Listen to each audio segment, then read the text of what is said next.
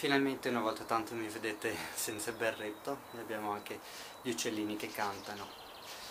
Uh, parliamo ancora di matematica, sperando di, di dire qualcosa di, di, originale che magari non vi è stato detto a scuola, al liceo, all'università.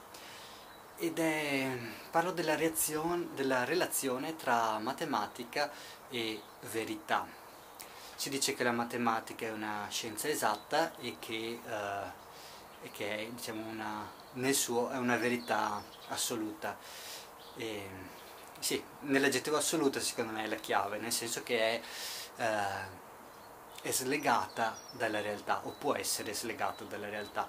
Mi spiego, nel video precedente eh, dicevo che la matematica è generalmente più avanti rispetto al tempo, eh, al tempo in cui viene sviluppata, ovvero eh, i problemi che i matematici ricercano molto spesso non sono eh, problemi del mondo reale, ma magari eh, le loro scoperte eh, vedranno un'applicazione solo, solo nel giro, nell'arco di diversi secoli.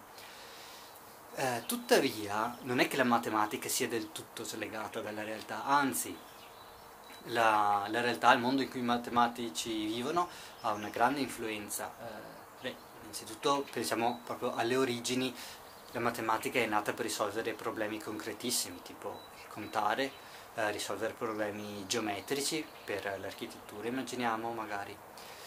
E, e, dopo chiaramente la matematica eh, si è sviluppata un po' a parte. Perché? Perché la matematica è un po', almeno i matematici così la vedono come un gioco, una passione.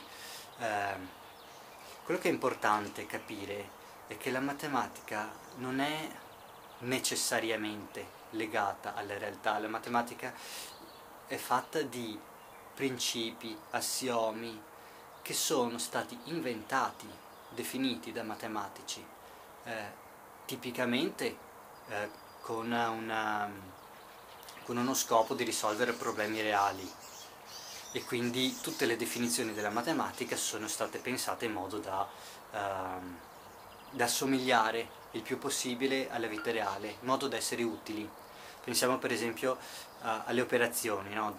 l'addizione 2 più 2 fa 4 perché noi sappiamo che nella vita reale se abbiamo due mele ne aggiungiamo altre due otteniamo 4 mele. Però nulla mi vieta uh, di definire un'operazione di addizione nel mio mondo matematico in cui ogni volta per esempio che faccio un'addizione eh, aggiungo un'unità in più. Per esempio eh, 2 più 2 non fa più 4 ma diventa 5 perché aggiungo 1 ogni volta che compio l'operazione di addizione. Eh, voi dite questo non ha nessun senso. Sì, non ha nessun senso perché rapportato alla nostra vita, al nostro mondo eh, questo non, non corrisponde alla, alla nostra esperienza. Però nulla mi vieta di definire l'operazione così, non è sbagliato in sé.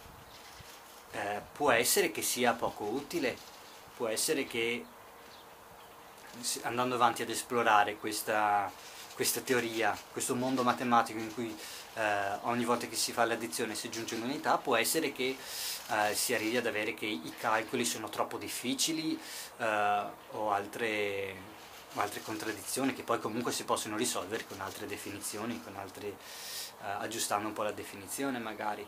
Eh, quindi se i matematici non hanno pensato a questo tipo di addizione eh, è perché probabilmente magari ci hanno già pensato ma hanno, hanno trovato che non è un'area fertile per la ricerca perché diventa troppo complicata e non, non hanno visto un, beneficio.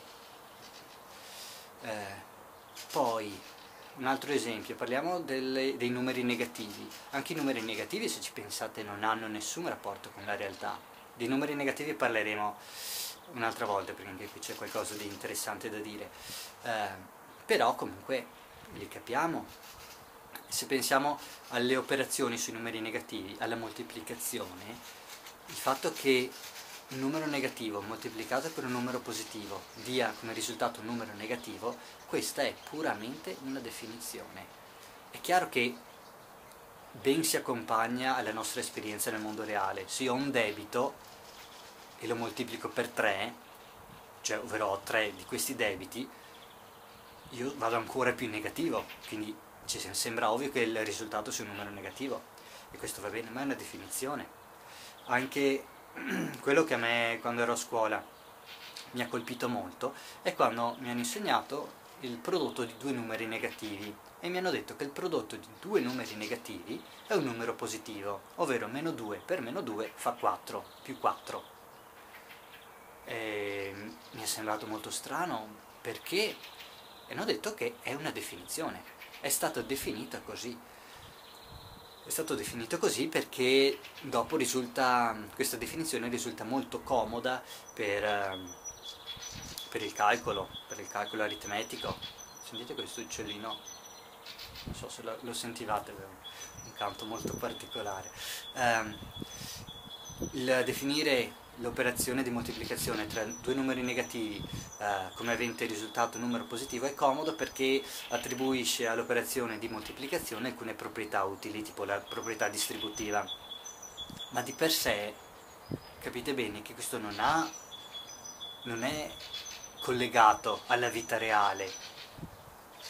Eh, se io, cosa vuol dire, tra l'altro il il stesso concetto di numero negativo, cosa vuol dire avere meno 2 mele, moltiplico per meno 2 mele. Non ha nessun senso, capite bene. Eh, eppure è stato definito così e questo risulta molto utile.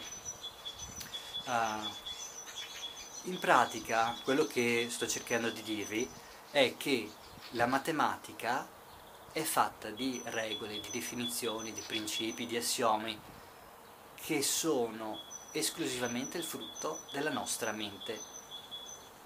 La nostra mente che ovviamente è condizionata dalla nostra esperienza nel mondo reale, però il, il matematico è libero di, di, pensare a tutto quello che vuole. Cioè, matematico, dico matematico, in realtà eh, non è un privilegio, è una cosa che possiamo fare tutti noi, eh, solo che magari sono i matematici che amano più sbizzarrirsi in queste cose. Un altro esempio abbastanza interessante quando noi contiamo, noi immaginiamo i numeri come un insieme infinito, dopo l'1 viene il 2, dopo viene il 3, dopo viene il 4, dopo viene il 5, ogni volta che aggiungo un'unità trovo sempre un nuovo numero. Sono infiniti. Eh, perché è così? Perché è un po' l'esperienza nella vita reale, chiaramente non abbiamo mai infiniti eh, elementi da sommare, tutto è finito, però nella nostra mente sappiamo che se io ho un certo numero di sassi aggiungo un sassolino, ne ho uno in più. E questo deve essere rappresentato da un numero. Uh, tuttavia, nei secoli i matematici hanno, adesso non so chi, dovrei guardarmi la storia di questo, hanno inventato un'area della matematica che si chiama uh, aritmetica modulare, in cui i numeri non sono infiniti.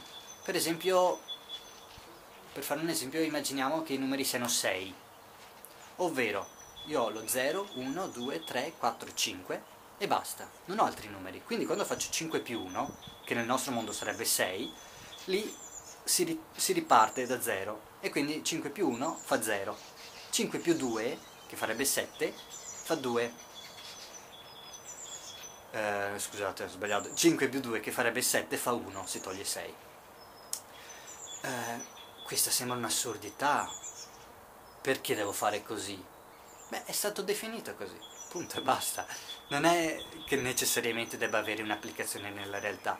In questo caso, questo è uno di, di quei casi in cui queste mm, eh, teorie bizzarre, apparentemente bizzarre, poi hanno trovato un'applicazione un nella realtà. Beh, questo è abbastanza semplice, pensiamo all'orologio. Pensiamo a un orologio di in realtà non esistono, le, credo, non esistono orologi di lancette con 24 ore, ma lo dico così per fare, eh, per rendere l'esempio più facile, altrimenti se faccio con 12 è un po' più difficile.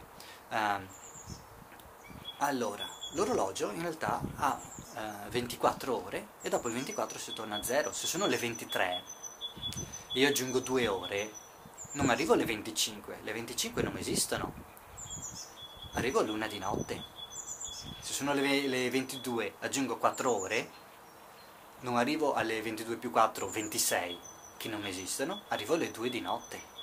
Sì. si toglie 24, si scala ogni volta 24 in modo che il, che il risultato sia compreso tra 0 e 23.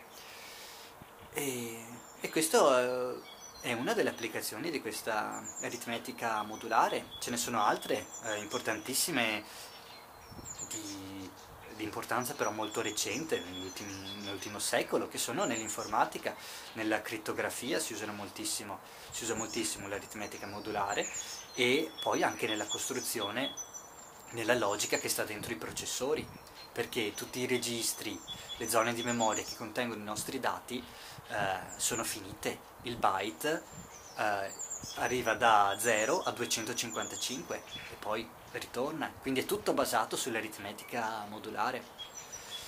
Eh, basta, penso di avervi dato abbastanza esempi e, e quello che, che vorrei che, che vi restasse è quello che ho detto prima, in pratica la matematica è puramente un'invenzione, è tutta un'invenzione che che io amo, lo dico chiaramente perché se dico che è un'invenzione magari può sembrare che stia vituperando la materia, no no assolutamente, ma eh, dobbiamo avere presente che è tutto un gioco che si svolge nella nostra mente.